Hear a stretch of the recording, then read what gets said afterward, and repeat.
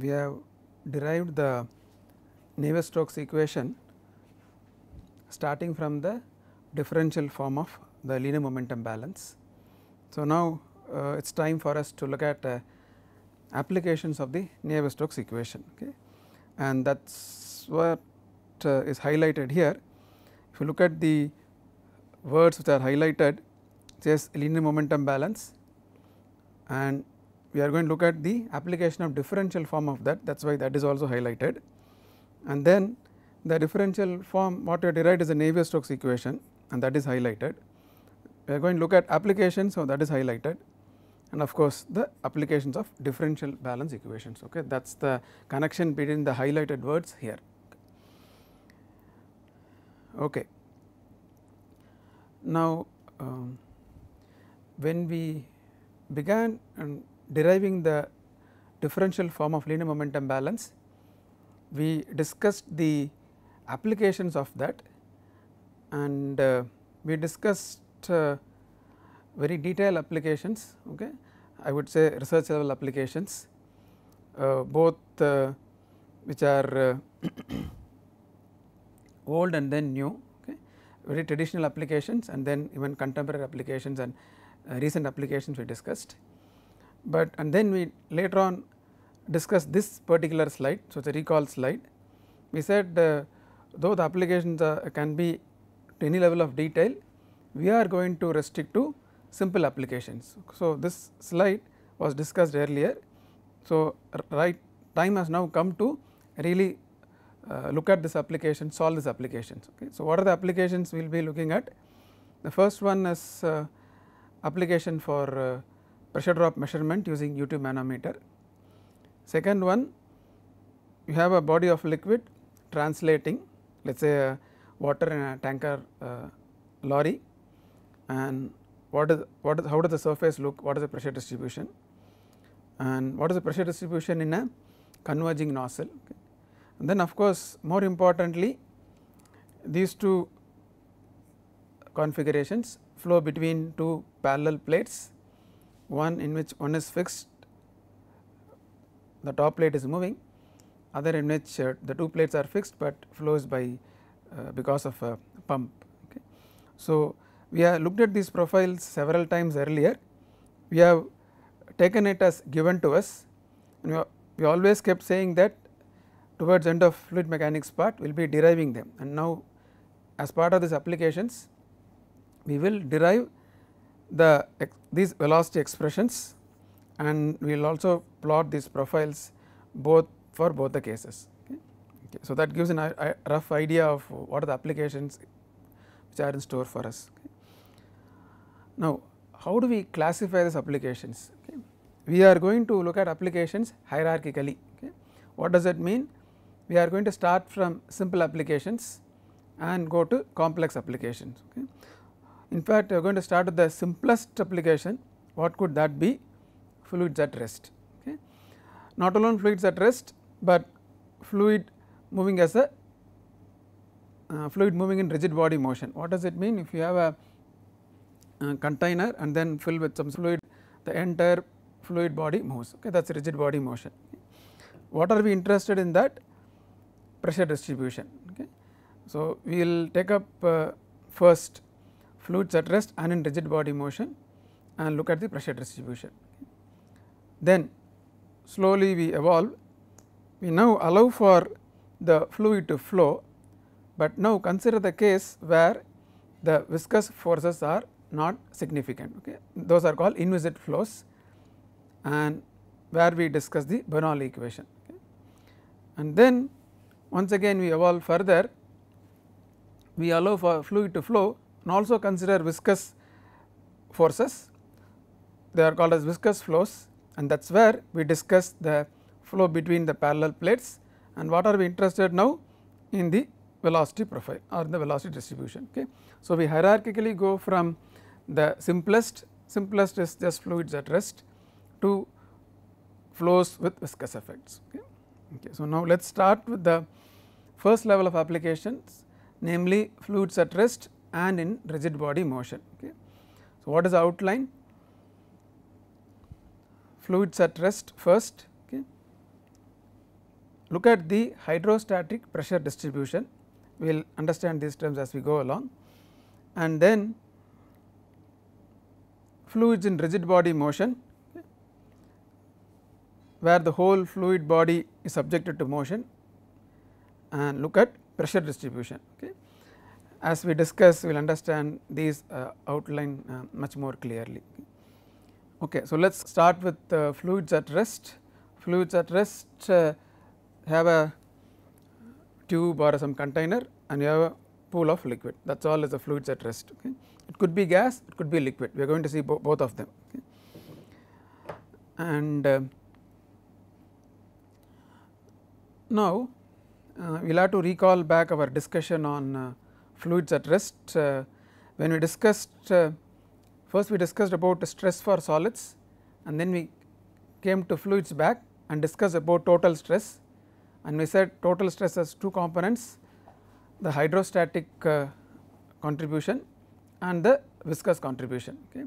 Now, we said fluid under rest has only hydrostatic contribution when it moves there are additional contribution namely viscous stresses.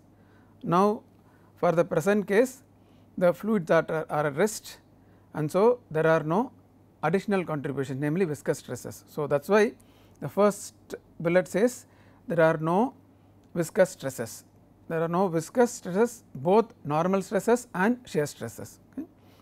Now, what is the only stress present in a fluid at rest? It is only the normal stress which is the pressure which is the thermodynamic pressure and that is why it says pressure is the only of course normal stress and it is a surface force. Okay. Pressure is the only surface force to be considered and that is a normal stress. Okay.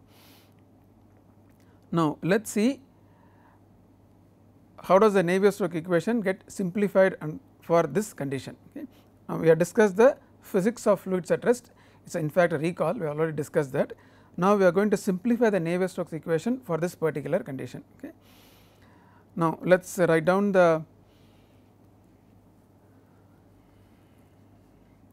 equation first that is the left hand side of the linear momentum balance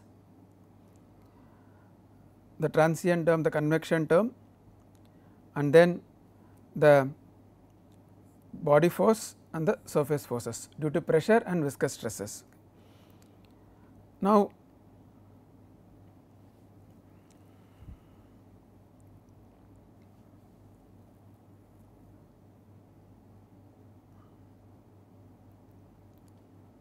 when we derive the Navier-Stokes equation we expressed these viscous stresses, normal and shear stresses in terms of velocity gradients using the Newton's law of viscosity and obtained this Navier-Stokes equation. The linear momentum balance substituting the Newton's law of viscosity for the viscous stresses we obtained the Navier-Stokes equation. Okay. Now, the left hand side we have seen can be expressed from a material particle viewpoint. In fact, uh, when we discuss the linear momentum balance we took the left hand side and expressed as the material derivative. In and then when we discussed about the Navier-Stokes also we quickly recalled that the left hand side can be written in terms of the substantial derivative. And that is a form we have taken. And remember when we discuss applications almost all the times we will take this form of the Navier-Stokes equation. Though we have derived this form of the linear momentum balance and then from that we got this form of the Navier-Stokes equation, the more practical and the used form is this form which is from a material particle viewpoint. Why is it from material particle viewpoint? The left hand side is in terms of the substantial derivative. That is why we discuss substantial derivative in the beginning of the course itself. At that point maybe the motivation would not have been very very clear we just said we are going to express acceleration of a fluid particle in terms of material derivative. Now, we are coming across situations where we are using them. Okay.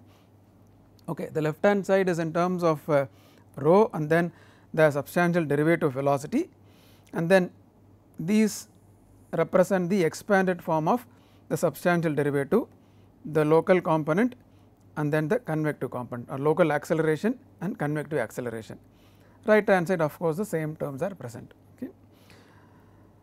Now, for fluids at rest Vx, Vy, Vz are all 0 okay, there is no motion at all.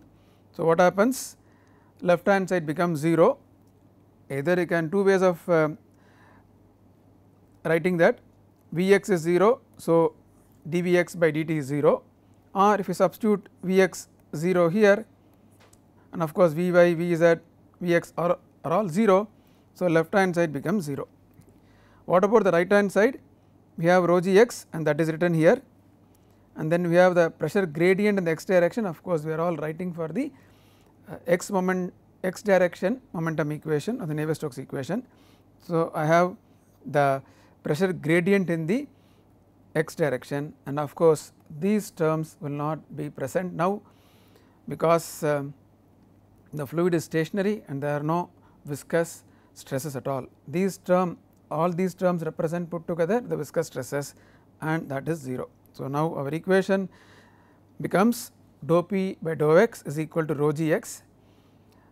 We have taken the pressure gradient to the left hand side the reason is that the variable of interest for a fluid under rest is that is the pressure.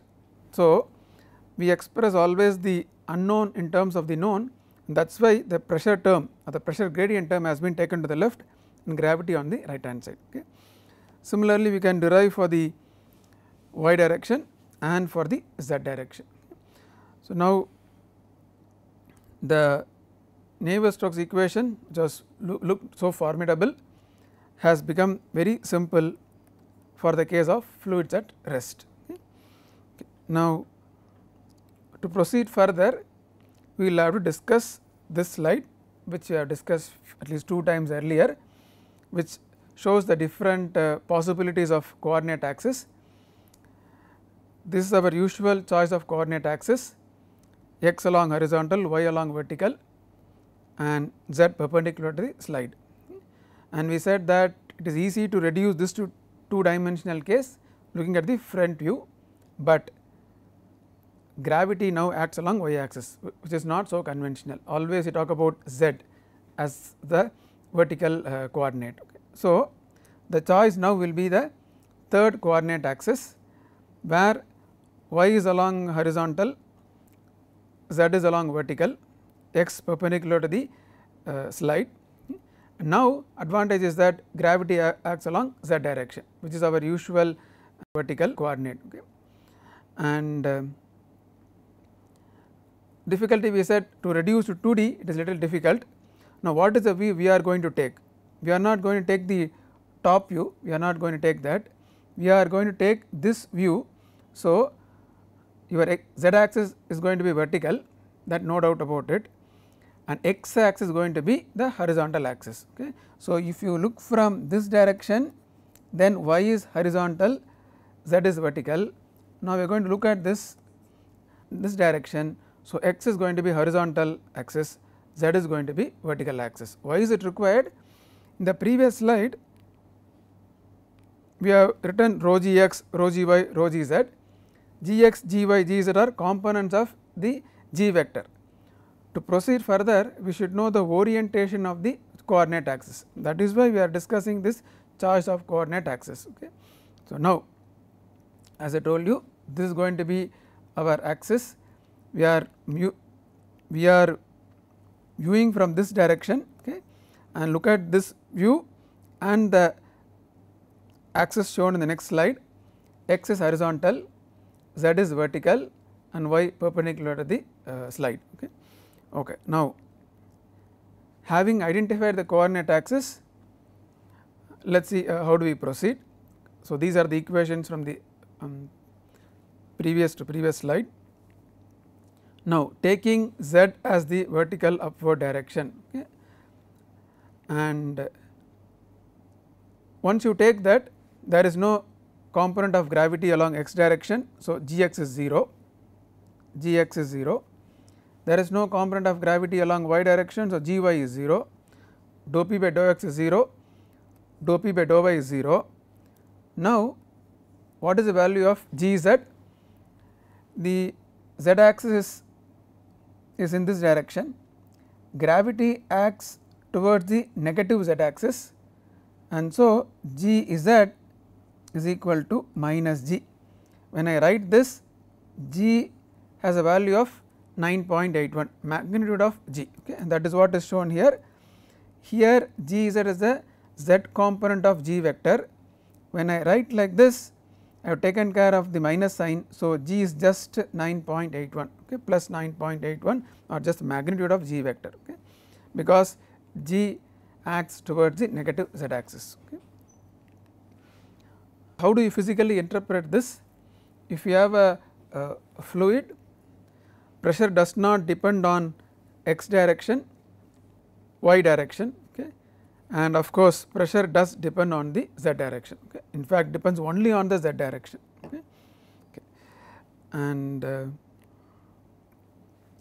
how do you physically uh, state this what is the physical statement behind this expression okay. For that if you take the z component of either linear momentum balance or the Navier-Stokes equation the left hand side is 0 right hand side we have rho g z minus dou p by dou z okay.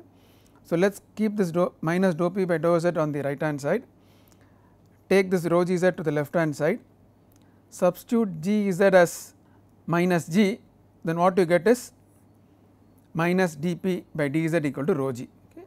Also like to mention we have written as dp by dz here and here also minus dp by dz.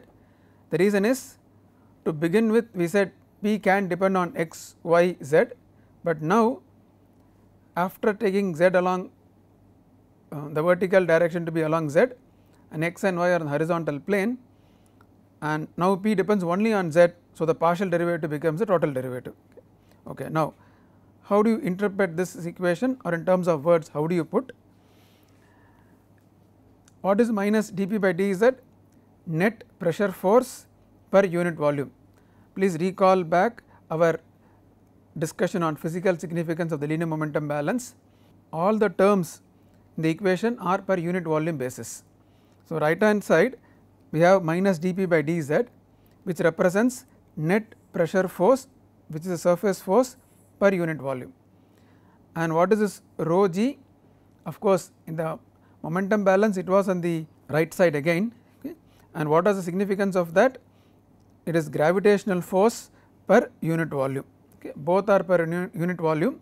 So, one is a surface force other is a body force okay. the surface force is um, the pressure force and the body force is the gravitational force. So, for a fluid under rest these two forces balance that, that is what is shown here the net pressure force per unit volume is equal to the gravitational force per unit volume that is a physical interpretation of this simple uh, equation. Okay. What is a working equation or how do you usually write what is shown here that is how you write you do not usually use this form as minus dp by dz equal to rho g the usual form which you come across will be dp by dz equal to minus rho g. We wrote this form to give a physical interpretation because in our momentum balance we had minus dp by dz that is why we have written this equation as minus dp by dz is equal to rho g to have physical interpretation. The working equation is dp by dz equal to minus rho g. Okay. What does it tell you? Pressure decreases as we move upward in a fluid at rest. If you are here, if you have vessel filled with liquid and if you are moving up the liquid there is a decrease in pressure dp by dz is negative remember g is just 9.81 that is a positive number. So, this tells you that z is along the positive uh, z is upward. So, this tells you pressure decreases as we move upward in a fluid at rest. Okay. So, like to mention that this equation would be discussed almost in the second chapter of any fluid mechanics book. Okay. Now, where we have discussed is almost towards end of fluid mechanics. Okay. What is the reason?